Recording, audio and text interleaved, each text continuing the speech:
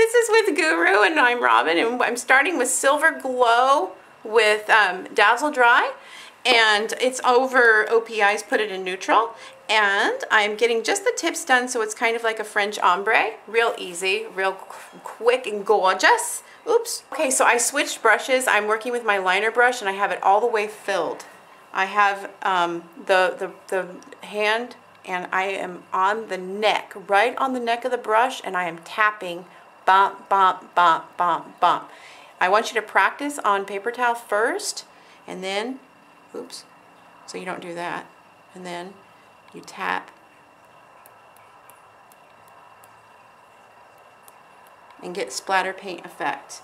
Now you could go and do this a million different ways with with um, million different colors, but I'm gonna go, this is just part one of my design today. Like that. I wanna get at least one line in the rest dots but just I want one good line at least per nail. So that I already got, so yay.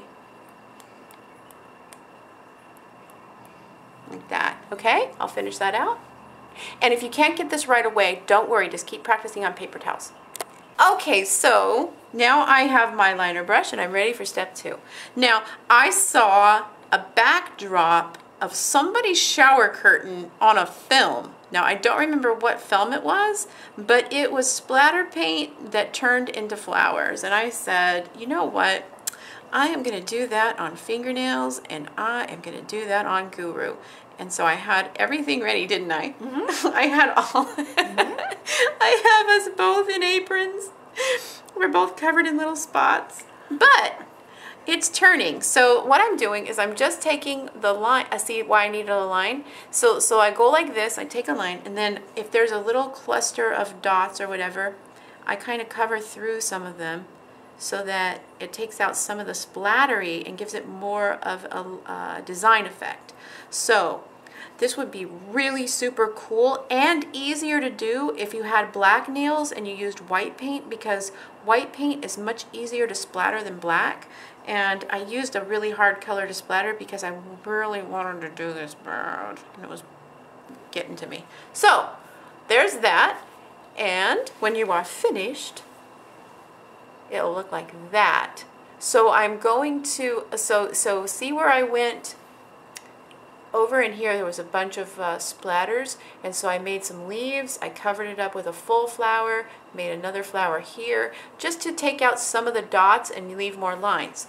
Where I need more lines for example I will take my brush create myself a little splatter line like this as if it had been splattered itself then you won't be able to tell the difference. And you say, well, what's the difference between doing just that and doing a splatter design? With a splatter design, it's all organic. And so it looks like, how did, how did they do that? There's no rhyme or reason. Whereas if I end up putting lines in, it, it looks painted. So hopefully you un understand that. See how I'm going through all the splatteries here and creating the flower?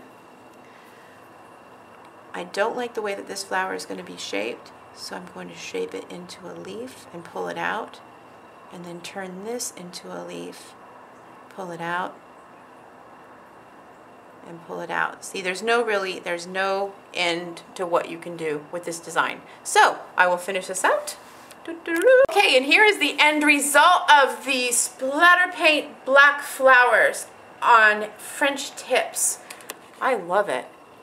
I love this. So there you go. I upload every Monday, Wednesday, and Friday, and if you try these, show me on my Instagram, Robin Moses Nail Art, because I really want to see it. And you guys have a wonderful night, and I'll see you back with more. Bye! Bye.